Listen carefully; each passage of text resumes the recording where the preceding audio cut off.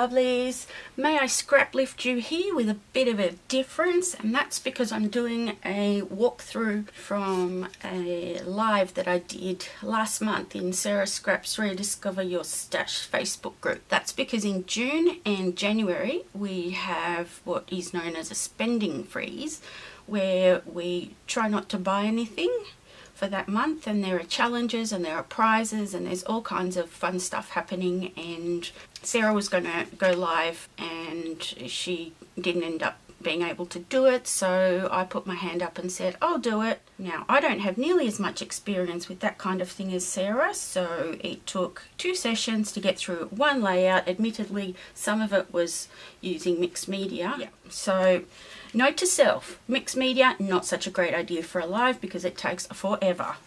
I used one of the challenges that Sarah had in her group for that month and that was using this sketch and from because it's May I Scrap Lift You I decided to scrap lift Sarah's version on her own sketch. Now I hoped to be able to stream live directly to YouTube, but I haven't been able to do that. The um, app that you need for that is kind of expensive and I don't go live often enough to justify it. So I'm going to link the two lives down below.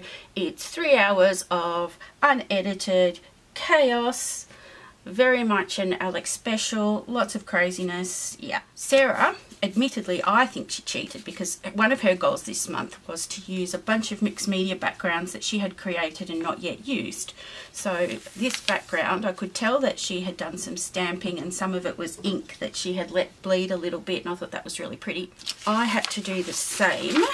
I tried to do the same. So the black, I, I had a background stamp and I just kind of inked small areas of it and the black one was StazOn so that bit wouldn't bleed. And then I did it in some in colour in distress ink so that it would bleed.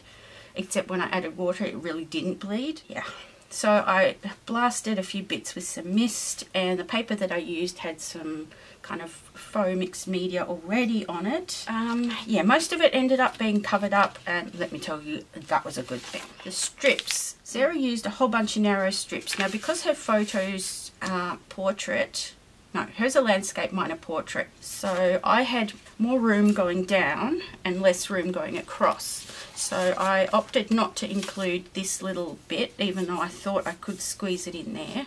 I fortunately had room for journaling. I ended up doing a little bit of extra stamping down here just because I felt it was a bit disconnected and I found a bunch of papers and a few branding strips. I cut them into various thicknesses.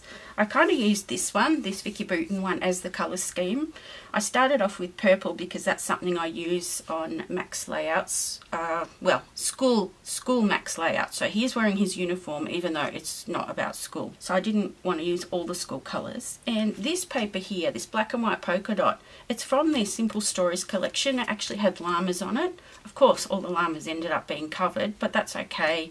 I used some stickers and I thought why not play up the llama that's in this painting even though it has absolutely nothing whatever to do with the story. I found some of those clear simple stories stickers and they fit the llama. I mean how cool is that? I was so excited about that and it's one of those stories that it's not a you know super happy story but it's not like all doom and gloom. So I'm trying to document a few more of those. And between the first live and the second I went through and stitched with the sewing machine the strips. There's no way I'd be able to do that in an actual live time and it's just not practical. I think I got the idea because this strip here that Sarah's used it looks like it's got some stitching through it. And I took a nod from Sarah's she has her title on the photo and we managed to overlap. Sarah and I came up with this. I wanted to include some kind of llama pun in the title. Max loves puns and so